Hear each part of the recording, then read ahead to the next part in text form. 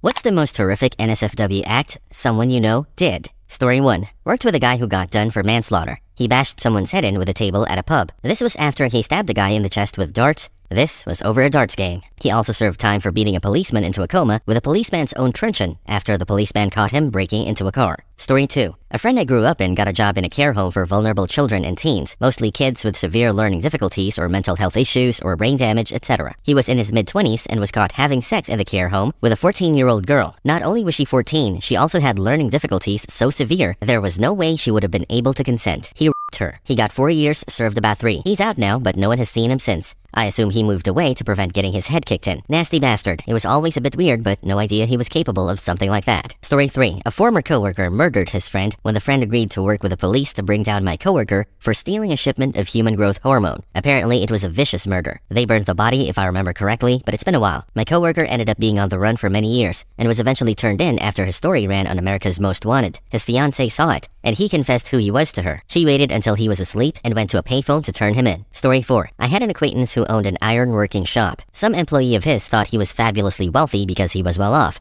The dirtball employee went to their house and tortured four of them to death to get their fabulous wealth, $40,000. Unfortunately, the housekeeper was there as well, and they tortured her too. The junkies ordered pizza and left their DNA to be found. Burned the house. Really very sad. This guy was known to hire guys who had criminal records and give them a second chance. His son was 10 years old. Story 5. I only met him once as a kid, but my granddad's brother-in-law. He approached me and my mom in a cafe, I was 8, and tried starting normal conversational small talk. My mom panicked and asked him what the hell he was doing out of prison. He brushed her question off and he knelt down to talk to me, which made my mom pick me up, sling me over her shoulder, and run back to the car. I just remember being so scared by her sudden moves, I quietly burst into tears in the car, and we drove halfway home. Mom then stopped in a supermarket car park, got in the back, unbuckled me, and we cuddled in the back for what felt like days, most likely an hour tops. I had no clue what was happening, but mom calmed me down, and she kept saying, You're safe, I love you, over and over. I found out years later he slit my granddad's sister, his wife's throat, and brutally beat her to death hence my mom's fear. Story 6. Guy I went to school with was real calm, very smart, and everyone loved him. He was a gentle person from what I remember.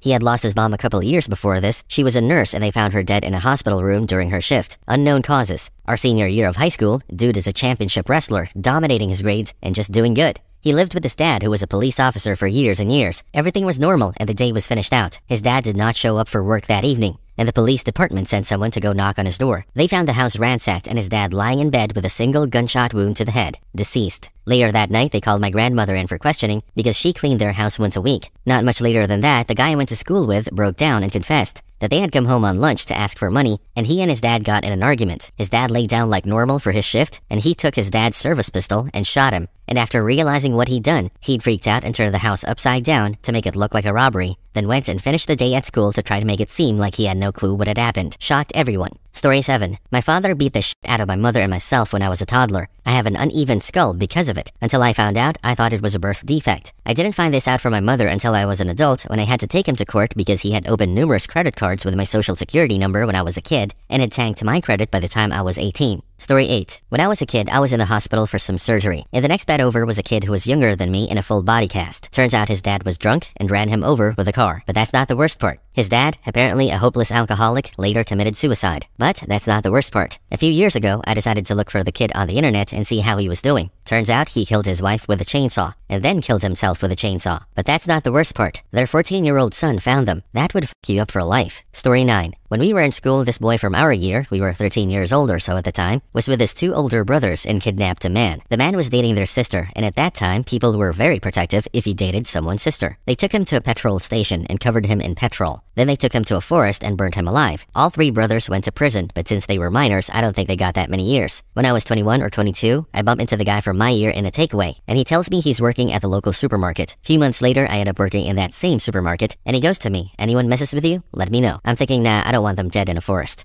Story 10. One of my childhood friends was diagnosed as schizophrenic in his early 20s, went off his meds for a bit of time and had an episode, bludgeoned his mom to death, who was my parents' friend. They found him in a fetal position crying and not understanding what happened. He committed suicide a few years later while in jail. Story 11. My mother tried to kill my father when I was a toddler by taping up the windows in our apartment. She turned on the gas at the stove, took me, and left. She knew my dad would light a cigarette upon returning home. She was banking on it. Luckily, my dad was able to smell the gas leaking under the door. Story 12. Someone I was close friends with till college was being his wife's daughters from her first marriage for years. He was also filming it and distributed the material and was teaching other pedos internet security and how to use the dark web. A laptop involved in a sting in the UK undid all his careful trail covering. The investigation revealed over a decade of traceable data of his activities, building a CP criminal network. I don't like to think about it. Story 13. I lived down the road from Terry Joe Volner. He rode my bus every day and was also a violent, horrible person. He murdered a five-year-old because he had feelings for the kid's mom, and I guess she didn't feel the same. So he murdered one of the kids, took a picture of the child's body, and sent it to the child's mom, and told her he was going to kill her other kids that he was babysitting if she didn't come home right now. He got life. Then he beat his cellmate to death with his bare hands so brutally, they considered the death penalty. He got life again. Story 14. My mom attempted suicide in front of me. She called me downstairs to witness her take a bottle of pills and told me it was my fault. I was nine.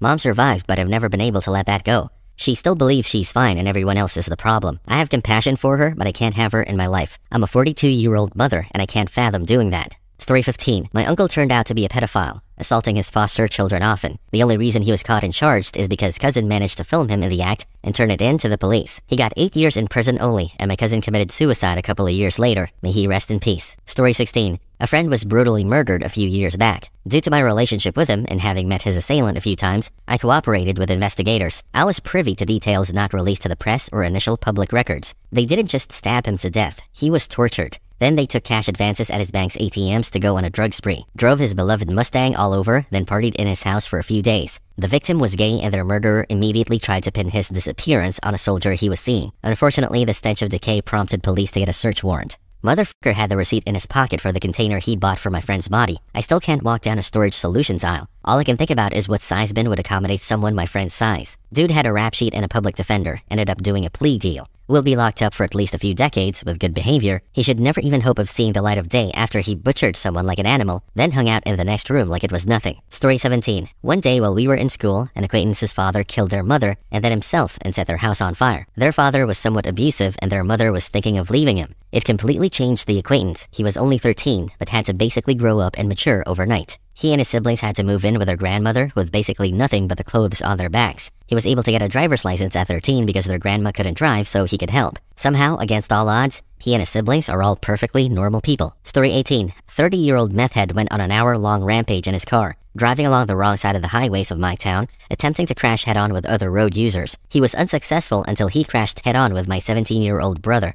The meth head was doing an estimated 140 kilometers per hour, and my brother was doing 110, the speed limit. He just got sentenced to 10 years in jail yesterday, and my brother now has lifelong injuries from the crash. Weirdest part of it all is that all the media and news reports of the accident were either silenced or made to be removed, and we don't know why. Story 19. I don't know how to quantify this among all the horrific things I've seen in this thread, but I wanted to get it off my chest for a long time, and I've never been able to tell anyone in real life because it's not my story to tell. When my mom was six years old, she was molested by a neighbor. She told her mom. Nothing happened to the neighbor. That's all I know for sure. My mom was very vague about the details, but based on what I know happened and the timing of it all, I believe her mom blamed her and threatened to harm her if her father took any action. Her father left, which was a long time coming anyway, with good intentions, but ultimately left her alone in a dangerous situation. Her mom brainwashed her over several years into believing she had done something wrong, so when she was finally allowed to seek help as a teenager, the pastor at their church, never a mental health professional, she couldn't argue when her mom told the pastor that she was a slut who tempted men for fun. She was never allowed to be alone with men as a child because she might do something to cause them to rape her. Ultimately, she was kicked out at 17 when her mom found out she was sexually active. This forced her into a very dangerous living situation. I was born two years later. I always hated my grandmother and refused to see her whenever I had a say. When I was old enough, I cut her off entirely.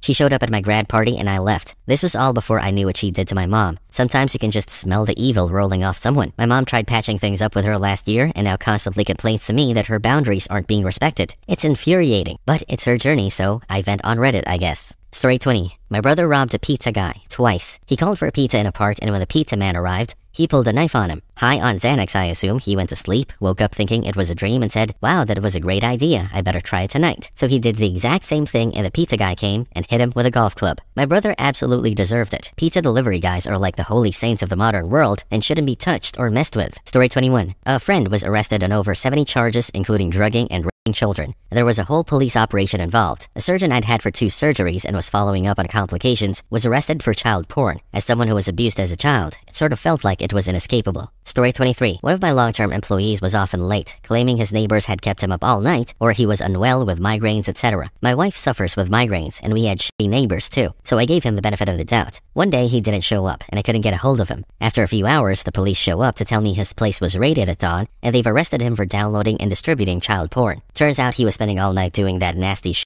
and then showing up for work knackered, and I accepted his apologies and excuses for years because he was good at his job. Story 24. Priest at an elementary school was convicted for child pornography. He was recorded on message boards talking about how much he wanted to physically hurt children at the school and that he had urinated and ejaculated into the communion wine. Not sure if verified. The stuff he had possession of was on the order of torture and worse. Big local names, including a local official, rushed to his defense. He confessed and blamed it on some devil temptation bullshit.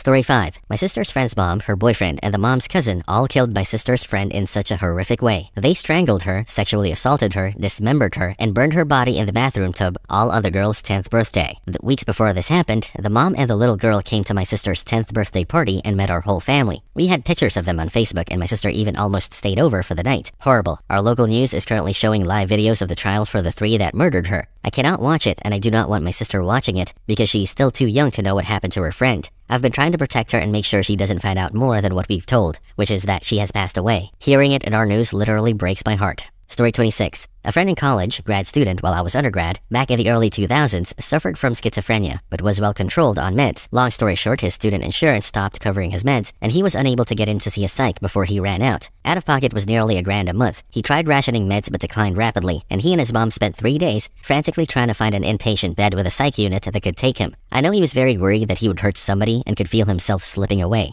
On the fourth day, he shot and killed his pregnant wife. He then tried to kill himself, but succeeded only in shooting off his own lower jaw. Thing is that when his head was right, he was such a good guy, and he was so excited to be a dad. It was all he talked about some days. That, and he loved his wife like crazy. Always talked about how out of his league she was and how lucky he was. As far as I know, he's still in jail, still has no mandible, and now that he's back on meds, is fully cognizant of what he's done. I cannot imagine his grief and guilt. I guess instead of looking for a hospital bed, he should have just gotten himself arrested. Our US mental health system, if you can even call it that, is a very, very bad joke. Edit. He didn't decline in just three days. Best I can tell, it was more like three weeks. Towards the end, he and his mom were trying to find him an inpatient bed because just restarting meds wasn't going to fix things once he had declined that much. What I know, I learned from talking to his mother afterwards, so there are big gaps in my knowledge. He wasn't able to speak at that point and transferred directly to jail once he was well enough. Story 27. My former high school band director suddenly didn't show up to school. Plus, it was on a Friday night game. I was scared that he got into some freak accident since he never misses. A few days later, it was announced he resigned after rumors of him sending sexual text messages. There was another incident several years before where he made sexual contact with a student taking lessons, and he supposedly tried giving her alcohol. It was hard to believe how someone you've respected for so long has this type of history. It makes you wonder how someone can do this and have it hidden for so long. Looking back, it was obvious the greater attention to female students. I was one of the only 8 to 9 males who got leadership roles in marching band compared to 30 plus females. Not that those those females didn't deserve to be section leaders, drum majors, etc., I just wanted to point out the huge margin. He was originally given two 20-year sentences for 40 years in prison, but it got reduced to one year plus five years of probation. If you enjoyed this video, please like and subscribe for more content like this, plus comment down your favorite story and a story of your own.